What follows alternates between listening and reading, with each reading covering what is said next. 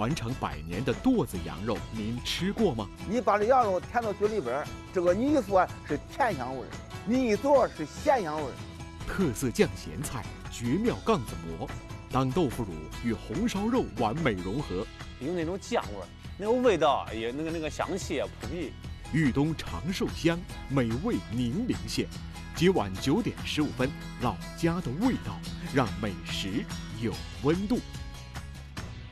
让美食有温度。大家好，欢迎收看河南卫视大型美食文化节目《老家的味道》，我是孟珂。《老家的味道》由不一样宽好吃的金麦郎刀削宽面赞助播出，同时也欢迎大家扫描屏幕下方二维码，关注《老家的味道》官方微信，获取更多的节目信息和优惠活动。接下来，赶紧请上我们的老朋友江波老师，欢迎您，江老师。你好，你好，江老师。你好，孟珂老师。大家好，今天您带我上哪儿吃？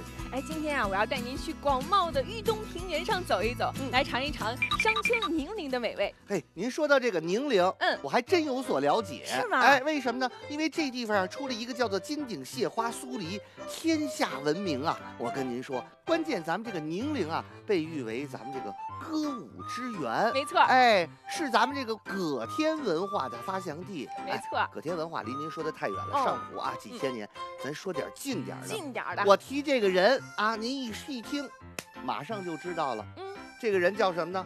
这个人叫信陵君。信陵君，哎，战国四公子之一呀，那可不。但是这也不近啊，两千多年前。啊，不过说起来，他窃符救赵的故事啊，可是广为流传。而且当年他的封地啊，就是今天的商丘宁陵。哎，您说的特别特别的对。这个宁陵啊，这个是山好水好人好物好。嗯，但是。请哪位大师给咱们做美味佳肴啊？哎呦，看把您急的！今天啊，咱们都有口福了。今天我们请到的大师，师承豫菜泰斗吕长海吕大师，而且呢，他还是咱们注册中国烹饪大师做的一手好菜。让我们掌声有请赵小安老师，有请，有请赵老师。赵小安，高级公共营养师，中国烹饪大师。我做豫菜跟着老师的传承，一个是食材要好，再一个。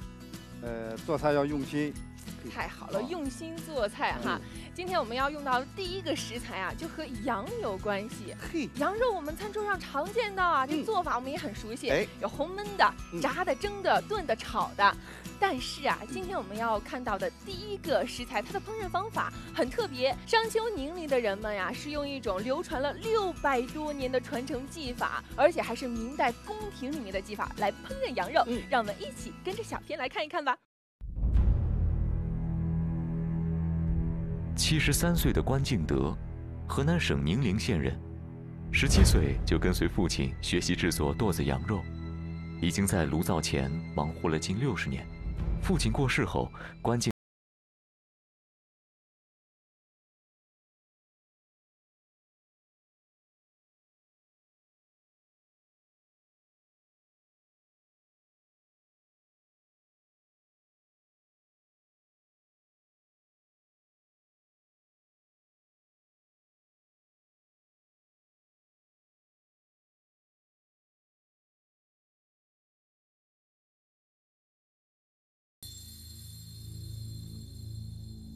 在关敬德看来，要让顾客品尝到上好的剁子羊肉，除了具备过硬的手上功夫之外，兵器才是制胜的法宝。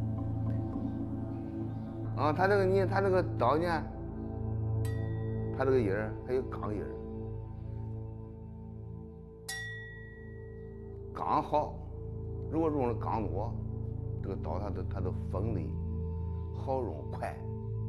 闯荡江湖多年，七十三岁的关敬德靠极致的刀工赢得一世之名。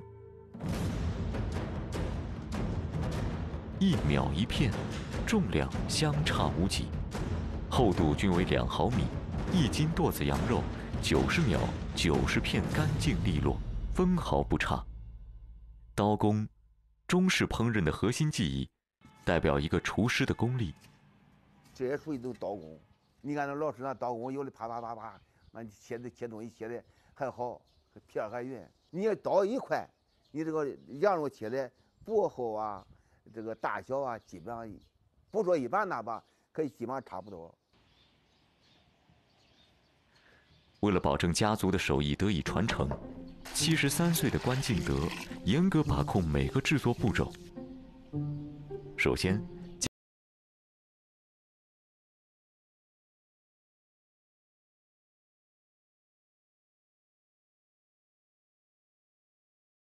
现在因为天气热，盐吃的快，现在一般最最多一天二十个小时就可以了。你你抓住一拿住之后一看，这个是它它腌好以后它透明是亮。跟随父亲学艺三十年，四十九岁的关云逸已深得关家剁子羊肉真传，但在煮肉环节仍少不了请父亲把关。腌制好的山羊肉依次放入口径一米五的大锅内。大锅里的汤料由八角、丁香、桂皮、人参等二十多种名贵药材，提前两个小时熬制而成。炖煮两百斤的羊肉，猛火大灶，缺一不可。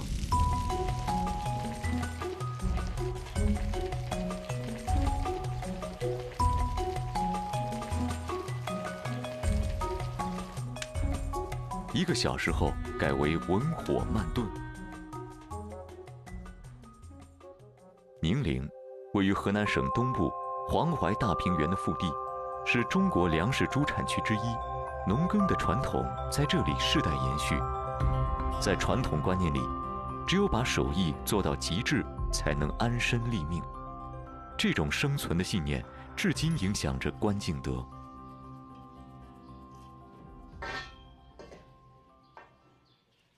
文火慢炖三个小时后，开始出锅。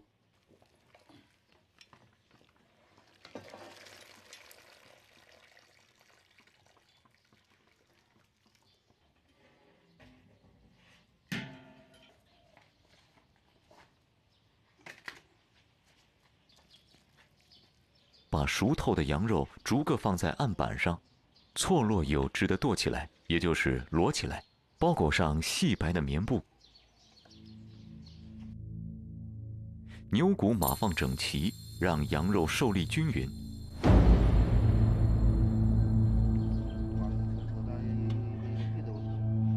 杠子的一头固定，人需要借助侧身的全部力量，反复翻压羊肉。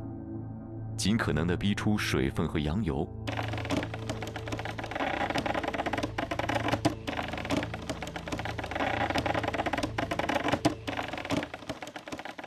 通过这道工序，羊肉的重量减少三分之一。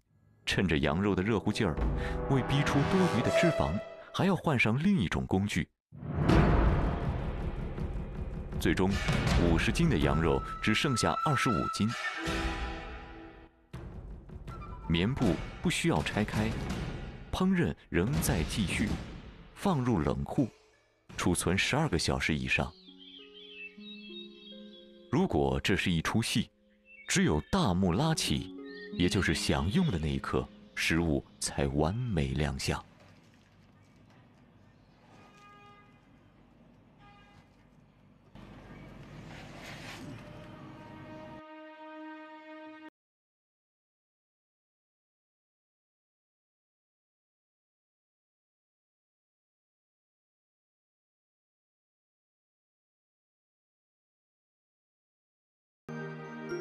你把这羊肉填到嘴里边这个你一说是甜香味儿，甜发甜；你一做是咸香味儿。做完以后，你按到红莲洞，你别动，它从红莲红洞里边那个窜香味儿。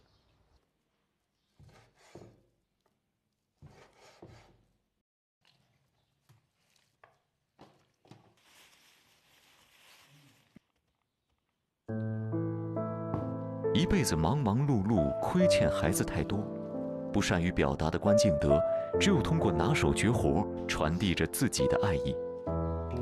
家庭聚餐，夫妻俩从早上五点就开始准备。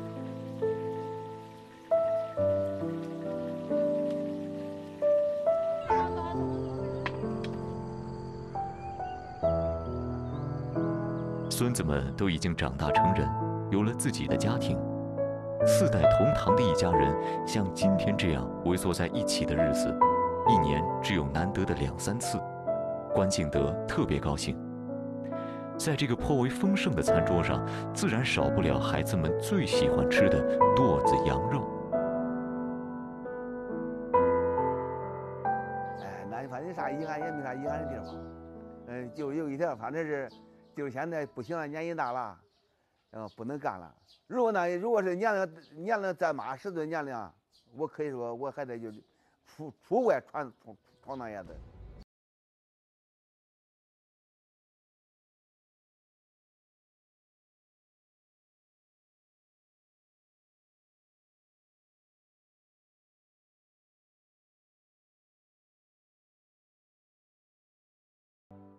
记着这老年人话说，一分力能撑死人，三分力能饿死人。一般的这个说话方面得注意，啊，不要你咋弄，对人家说话的时候和和气气。乖乖，我知道了。自从一九六二年开始学艺，五十六年。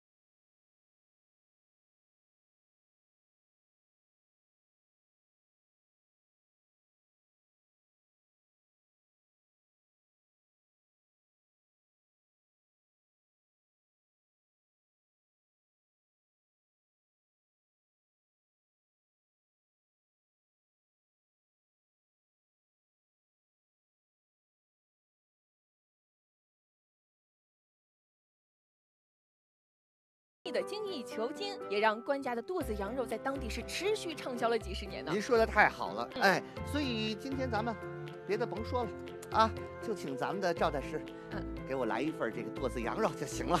今天我们不做剁子羊肉，今天换一种这个羊肉的部位做羊排。羊排，对，带来的这道菜叫什么名字呀？蒜子自然。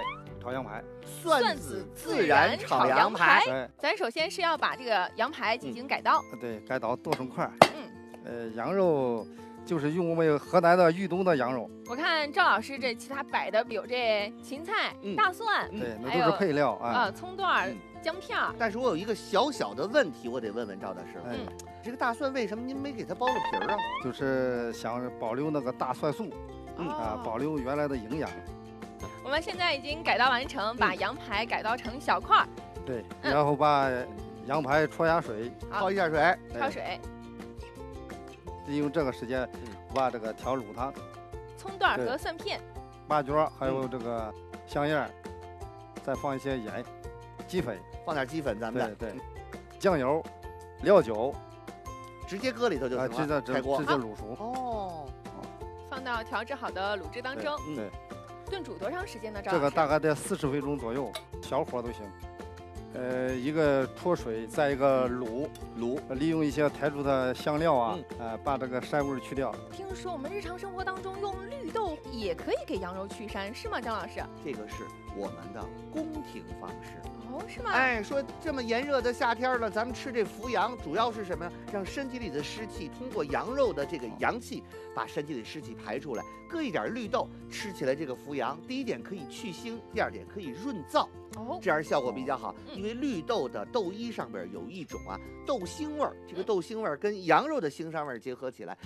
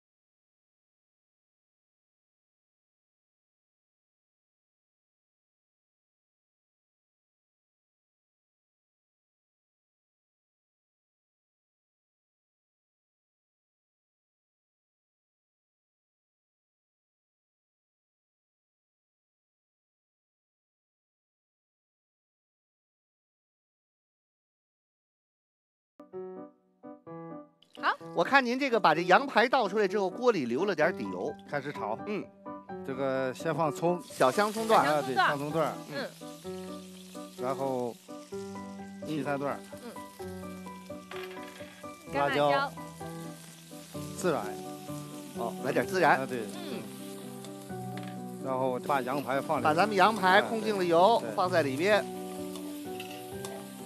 把蒜子放里边，蒜子又又哦，这回是下蒜子，对，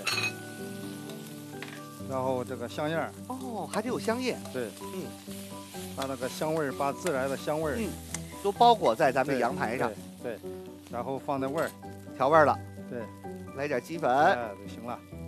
哦，哦，这就行了。对，我看您做的这个特别少盐，对，少盐，基本上没有。对，嗯，卤卤汤卤的时候呢，这个羊排有一定底味了。哦。盛盘出锅啦！这盛盘之后的蒜子也可以吃吗？对对，蒜子就是吃，这和别的不一样，嗯，别有风味儿。这么一道香喷喷的、营养健康的蒜子自然炒羊排就出锅喽！我跟您说啊，一看咱们赵的师就是实在人。嗯，你瞅这羊排，这冒着尖儿了，是不是？谢谢谢谢赵老师，谢谢谢谢谢谢赵老师，谢谢赵老师。这样一道香喷喷的蒜子自然炒羊排，嗯。来，嗯，这个羊肉啊，外酥里嫩，这个咸鲜适口。关键一点膻味都没有，太香了，有点小遗憾。怎么着了？应该预备点什么米饭呢？啊，烙饼啊，嗯、烧饼啊，火烧啊，馒头之类的。您别着急呀、啊，嗯、好菜都在后面等着您呢。接下来还有好菜呢，后边还有好菜呢。没错，不过在这之前呢，我们要给电视机前的观众朋友们一起来分享美味。嗯、电视机前的您，如果也想品尝到如此特色的原产地食材呢，可以扫描屏幕下方的二维码，进入大象 TV 市集购买本期产品。同时，在这里也要感谢河南天地悦海酒店、河南宴对本栏目的场地支持。蒜子孜然炒羊排，第一步，将羊排剁成小块焯水，然后用盐、酱油、料酒、八角、葱段、香叶等调制卤水，放入羊排，小火炖煮四十分钟。第二步，锅中放油，烧热，把蒜子炸熟，将卤熟的羊排拍粉并过油。第三步，另起油锅，依次放入葱、小芹菜、香菜、干辣椒、孜然、羊排、炸好的蒜子、香叶等，炒香并调味儿，美味即可出锅。它在中国人的饮食中占有很重要的位置，它被称为东方的奶酪。它究竟是什么呢？广告很短，马上回来。听说在我们豫东啊，还有一种特色菜腐乳肉，您听过吗？我们北京逢年过节都做。我跟您说，就做这么一盘肉。然后搁点那个红的酱豆汤，不就是咱们这个？等等等等等，我跟您说啊，我今天要给您带来的这个可是和北京的王致和腐乳齐名的腐乳，叫白糖腐乳，而且啊，在这里还有着好吃的酱菜，到底多么美味？咱们赶紧通过小片一起来看看。每当夜幕降临，中国人以家为单位，生活、做饭，点亮万家灯火。正是这些人间烟火。让家庭组织更加紧密，火候的老嫩，味道的浓淡，各家各户千变万化。相对于技巧，倾注的心意，才最值得回味。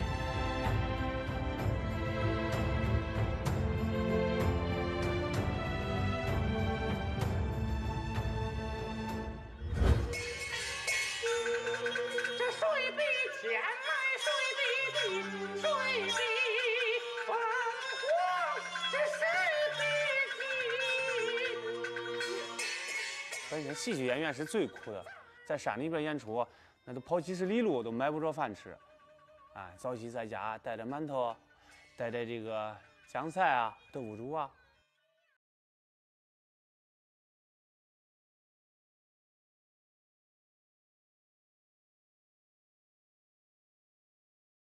曲界至今无。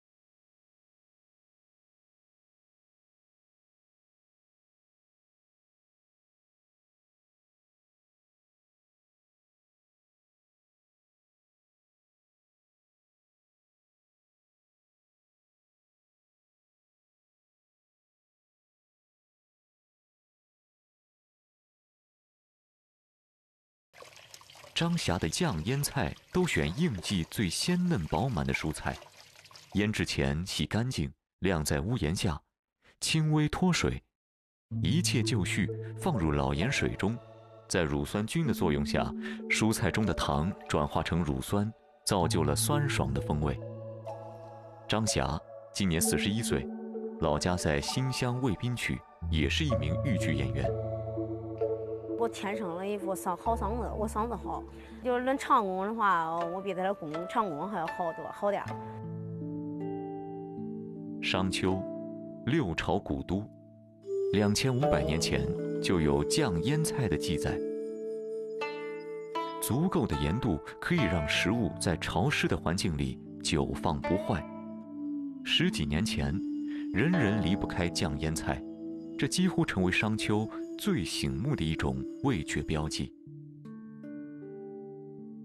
现如今，酱园里露天空场上排列着的酱缸，都见证了曾经的繁荣。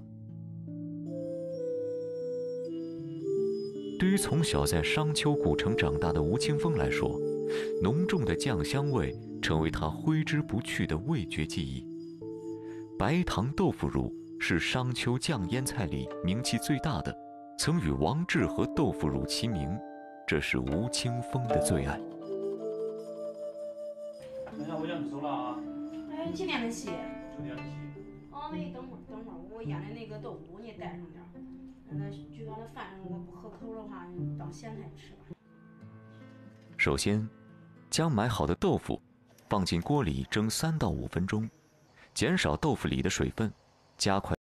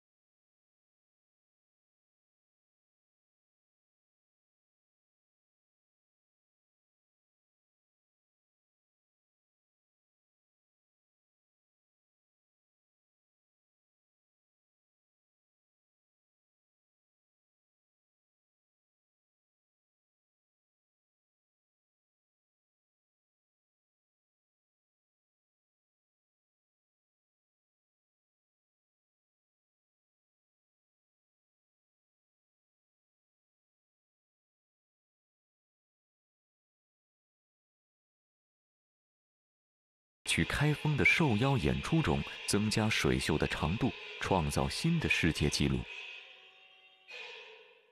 这肩膀疼的就抬不起来，疼也要练。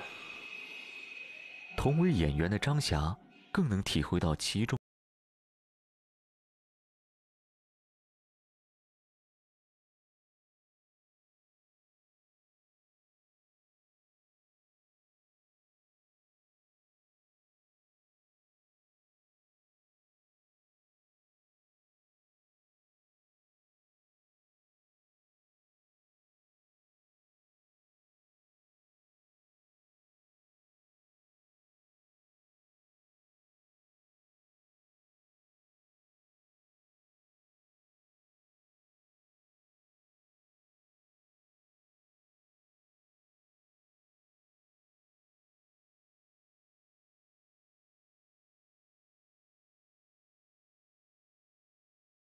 加老抽，各家有自己的方法，而张霞的秘方是加入白糖豆腐乳、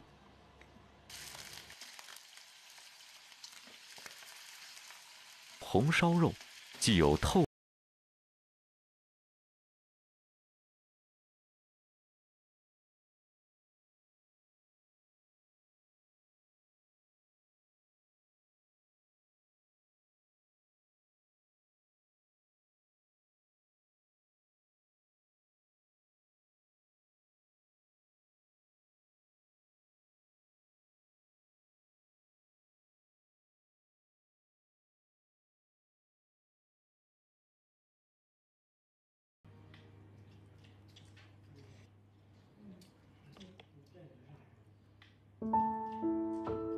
家常美味，虽没有高深的技巧，但倾注的心意值得回味。红烧肉，白糖豆腐乳，这是张霞独创的搭配。当食物中融入感情，足以让普通的食材变成绝佳的美味。尽管千家万户的家常美味各不相同，但幸福的家庭都是相似的。一份酱腌菜，盛满了中国式的人生，更折射出中国式伦理。除了刚才小片里看到的腐乳啊，咱们这个豫东的酱菜也是非常非常的有特色。所以我特别的感叹，咱们中国的祖先呀，太聪明了，总能因地制宜，将当地的特产制作出来各式各样的美味。不瞒您说，其实哈，我特别特别喜欢吃肉，但是。您看看，身体有点胖，对于这个肉里边的胆固醇摄取呀，我心里还有点担心。这个您今天尽管放心，因为赵老师今天要给我们做第二道菜，又可以去除油腻，还可以降低胆固醇，是吗？赵老师？对对，今天这个烹制这个腐乳肉，嗯，腐乳肉用到的食材有杏鲍菇，嗯，还有五花肉，嗯，还有这个腐乳，嗯，还有一几个常规的调料。所以咱们第一步要做什么呢？赵老师？第一步把杏鲍菇。改一下刀，嗯，好嘞。刚才姜老师也说了，说您特别爱吃肉，但是就怕这个胆固醇呀、油腻啊这些。其实啊，物极必反。我听说你完全不吃含有胆固醇的食物，对身体也是不好的。您从营养学的角度来给我们分析分析。那有的时候我们经常做节目，所以呢，走到这个街面上就会碰见咱们的叔叔阿姨。有的阿姨就说了：“哎，江波，我们这早上起来蛋黄不吃，油条不吃，到医院一查。”为什么这个胆固醇的这个指标一点都没下来呢？其实我跟您说，这个早上起来不吃油脂。你的胆固醇也不一定降得下来，是因为身体自身还会产生胆固醇补充上。所以说呢，早上起来咱们要适当的吃这个优质的油脂，比如说吧，您把这个蛋黄吃掉了之后了，您这一天所需要的这个油脂，哎，基本上就满足了。哎，说话间呢，赵老师已经把这个五花肉和杏鲍菇都已经改刀成块状了。对，所以下一步我们是不是要过油了？对，下一步开始加工。哦，加油！我给您倒点油，您看看啊，咱们倒多少？嗯，倒入半锅油。这个油温要几成热的时候啊？八九成热吧。也是八九成热的时候，把杏鲍菇下里边，下入油锅。这个杏鲍菇正好它把这个红烧肉那个油脂给它吸收一部分。嗯，这样的话，咱们做出来的这一道腐乳肉。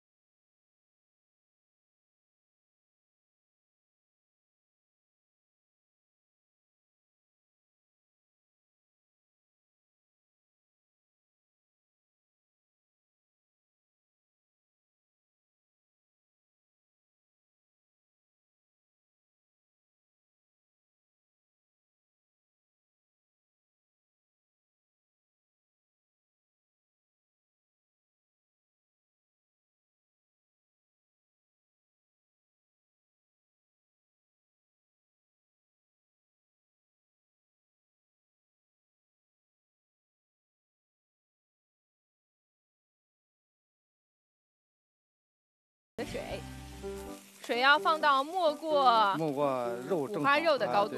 行，好，我们再调味儿，少加一点盐就行了。然后小火，嗯，卖对四四十分钟、四十五分钟。赵大师制作的这个腐乳肉啊，有一个最大的特点，一定是糖盖住咸味儿。这样的话肥而不腻，瘦而不柴。嗯嗯。经过四十分钟的炖煮，现在咱们锅里的这腐乳肉怎么样了，张老师？嗯，时间差不多了。嗯，我们开始大火收汁儿。我们现在把小火改成大火进行收汁。嗯，对。啊，这个其实我觉得更见功夫了啊，因为汤汁儿呢非常非常的浓厚了，要把它均匀的收浓，还要包裹在原料的表面。这个既得有耐心，又得讲火候。没错。好。好。加的明油出锅了都。好，这样一道腐乳肉就出锅啦。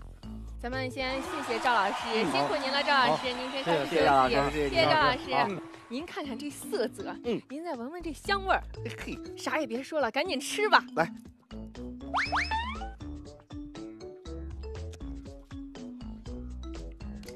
这腐乳肉肥瘦相间，肥而不腻，而且味道啊是鲜美无比。再来上这一口杏鲍菇，哎呦，太好吃了！怎么就一点也不油腻呢？外酥里嫩，色泽红艳，哎呦，拿起来了，呵，滴灵滴灵的，非常的好吃，非常的美味。如果您在家也想做出如此的美味呢，你可以扫描屏幕下方的二维码，进入大象 TV 市集购买本期产品。同时，也欢迎大家扫描屏幕下方二维码，关注“老家的味道”官方微信，获取更多的节目信息和优惠活动。腐乳肉，第一步，将杏鲍菇切成小方块，炸至金黄色备用；五花肉切成小块，炸出油，捞出备用。第二步，锅中放底油，加入葱、姜、大蒜、香叶、八角，炸好的杏鲍菇、五花肉，少许料酒、酱油、老抽、冰糖、腐乳等进行煸炒。第三步，煸炒完成后，加入水、少许的盐，小火慢炖四十分钟，最后大火收汁，美味即可出锅。我跟您说，接下来这道菜呀，管饱。这道菜啊，我相信电视机前所有的观众朋友们都吃过这种食物，但是商丘宁陵的人们却有着不一样的制作方法，而且这种制作方法传承了几百年。嗯，到底是什么呢？咱们赶紧跟着小片一起揭晓答案。河南，地处黄河流域，这里是中国最古老的小麦产区之一。对于这里的人来说，除了面条，另一种亲切的主食就是馍。与面条的千变万化相同，馍也在这片土地上演变出了各种花样。夏季里中伏的第三天，豫东地区的地表温度可以达到将近四十摄氏度，炎热对于姚文化一家是年复一年的考验。高温下，他们仍然需要制作一种名叫杠子馍的美食。河南人。爱吃用酵母或面头发酵的麦面馍馍，馍馍讲究发酵和柔和的程度，对面的揉搓时间越长，力度越大，出来的馍就会越劲道，吃起来也越香。为了增加揉搓的力量，宁陵人发明了借用杠子制作馍馍的方法。杠子讲究粗细合适，笔直光滑。姚文化用来压面的杠子还是父亲留下的，几十年的光阴让它在姚文化的手中变得圆润和乖巧。杠子的一头固定，人需要借助侧身的全部力量，反复翻压发酵好的面团。每团面都要反复压上几十遍甚至上百遍，这样才能使硬面得到充分舒展。三个儿子还在学习期，他们的工作是将压好的面团做成长方体的膏状馍坯。一个馍馍二两，从小就看着爸妈蒸馍的兄弟们并不陌生。如今，他们也可以做得又快又准确。除了和面用的杠子，杠子馍所用的酵母，正是保持它味甜和松软的秘诀。这种酵母被称作兜曲。马大姐与姚文化结婚已经二十多年，她要到集市上寻找一种叫做面瓜的食物。面瓜是制作兜曲最重要的原材料，它产于夏季，三伏天里的面瓜最甜，制作出来的兜曲也最适合作为杠子馍的酵母。今年，儿媳妇也需要学会这门手艺。盛夏。当气温稳定在三十五摄氏度之上，这种材料才有发酵的可能。一年中最热的十天，就是做曲的最佳时节。瓜瓤与面粉混合，捏成圆球。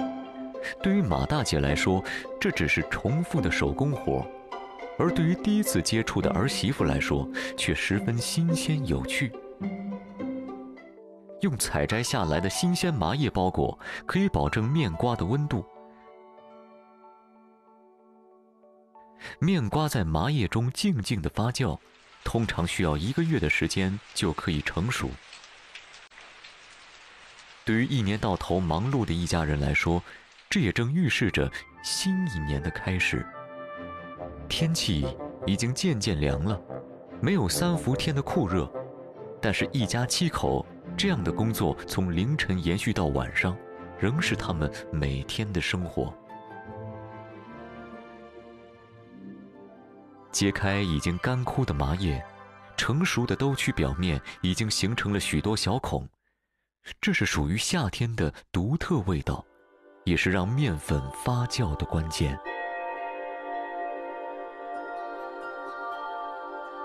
兜曲制作的是否成功？还需要通过全家人的检验。今天，使用这种兜曲制作的杠子馍将成为一家人特别的晚餐。馍汤菜是河南大多数家庭晚餐的主角，自家菜园里的腌豆角、豆瓣酱、糖蒜，儿子炒的几个小菜。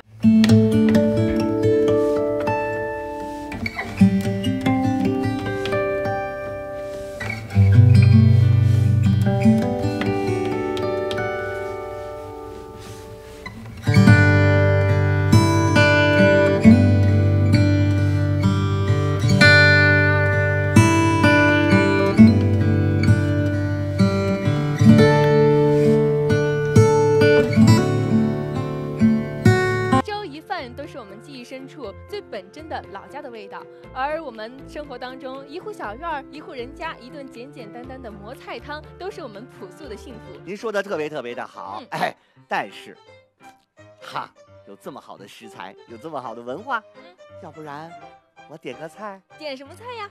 这样吧，我们小时候歌谣里头有一句叫“老虎杠子鸡”，怎么样？哎，咱得问问赵大师怎么样？嗯老虎杠子鸡是我们河南豫东那一块一个传统名菜啊，还是咱们这儿的名菜。对，没错。哦，我今天做一下。这样，那您给我们讲讲。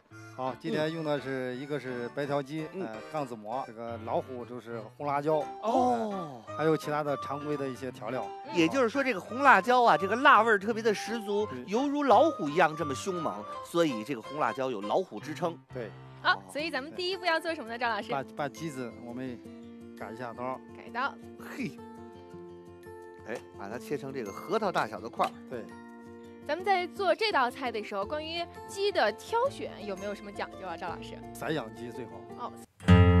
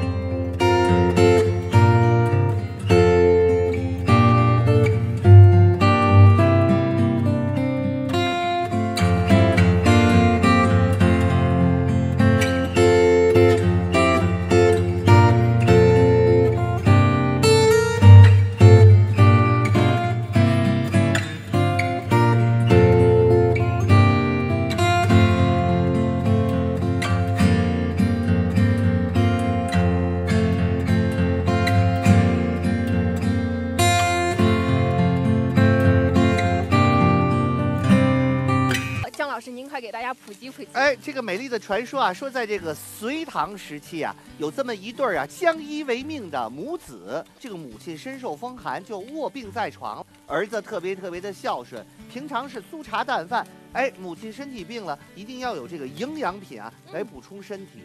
所以呢，他背起了斧子，就进入到深山了，进行呢怎么样啊？寻找猎物。突然，听着这个草丛之中啊有动静，砰，窜出了一只雉鸡。哇！哎，这雉鸡长得甭提多漂亮了。可是说时迟，那时快，突然碰见猛虎跳出来了，因此上呢，他拿起了这个板斧，就跟老虎搏斗了。最后还不错啊，这个他把这个老虎打跑了。把这个老虎口中的雉鸡呢给夺回来了，回到家里头了啊，用了咱们这个比较简单的方法进行了烹制，给他的母亲端到床前。没有想到母亲喝完了这个鸡汤，还果然不出几天身体就康复了。好，所以这也是一道孝亲菜呀。哎，我们利用这个时间把这个杠子馍煎一下。好嘞，这个煎大概要煎多长时间呢，张老师？把这个。杠子馍煎黄就行了。好，煎成金黄色。您看，经过二十五分钟的炖煮之后啊，这个颜色啊、香味儿啊，都几乎已经是达到完美的状态了。其实我们有一句话说“无鸡不成宴”，但是不同种类的鸡、不同年龄的鸡，烹饪方法也都不同，是吧？您给我们讲讲呗，赵老师。就刚才姜老师说这个水鸡啊，嗯，一般的生炒比较好。是吧？像那老老老母鸡啊，炖汤比较好。嗯，爆炒小公鸡。哎，对。然后炖煮老母鸡，包括卤制都可以。哎，好。而且咱们这个以前曾经请过很多很多咱们当地河南的豫菜大师，哎，制作的这个啊，咱们所说的炸八块。哦。哎，还有咱们这个，咱们说这个清炸的或者是这个软炸的鸡块，都是非常非常好的烹调方法。这个菜要稍微带点汁儿，哦，嗯，因为一会儿还要吃的时候蘸住那个杠子馍。对。关键这个汤汁啊，越收拾越浓稠啊。没错。好，出锅了，出锅了。出锅盛盘儿。咱们先谢谢赵老师，谢谢赵老师做的美味，谢谢您先休息。好，接下来啊，就让咱们赶紧来品尝品尝这一道老虎杠子鸡，味道怎么样？味道特别的鲜美，鸡肉呢特别特别的烂啊，咸鲜适口，而且这个馍呀，经过煎制之后是一面酥酥的，另一面软软的，太好吃了，味道无比的鲜美，而且呢肉质非常的细嫩，这道菜我想应该是老少皆宜的一道菜。哎，那真是吃一口想两口，想两口。老虎杠子鸡，第一步将白条鸡剁成块状备用。第二步，锅中放油，烧热，放入葱、姜、蒜、八角、红辣椒炸香，然后依次放入料酒、鸡块进行煸炒。第三步，加入酱油、老抽煸炒上色，加入水、鸡粉、胡椒、白糖等，小火炖煮二十五分钟，然后大火收成浓汁。第四步，把长条杠子馍煎黄，搭配鸡块，美味即可享用。我特地用刚才的老虎杠子鸡里面的鸡汤，给您泡了一碗刀削宽面。呵，嗯，在我们平常烹饪的过程当中，我们经常会用到料酒，但是当家里面没有料酒的时候，很多人会选择用白酒来代替料酒。这种做法正确吗？广告之后由姜老师为您揭晓正确答案。您可以把您的答案发送到我们的微信公众号上参与留言互动。广告很短，不要走开。让美食有温度，欢迎回来。接下来就有请姜老师来为我们揭晓一下正确答案吧。嗯，正确的答案就是呢，如果咱们家里头没有料酒，千万不能用白酒进行代替，因为呢，白酒呢的乙醇度是非常非常高的，它呢容易呢在锅中呢破坏咱们的蛋白质和氨基酸，因此呢，咱们在家里呢最好呢使用料酒，而且料酒的含糖量比较高，吃起来的口感会比白酒更好。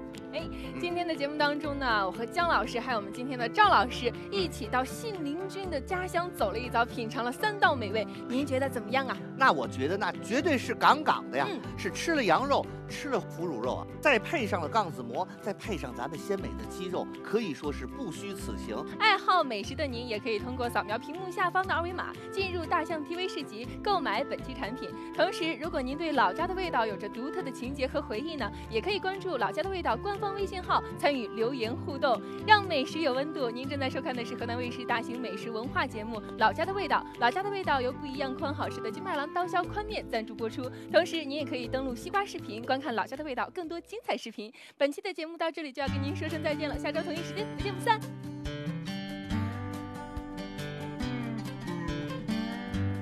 感谢爱奇艺、优酷视频、搜狐视频、搜狐娱乐、新浪新闻客户端对本节目的大力支持。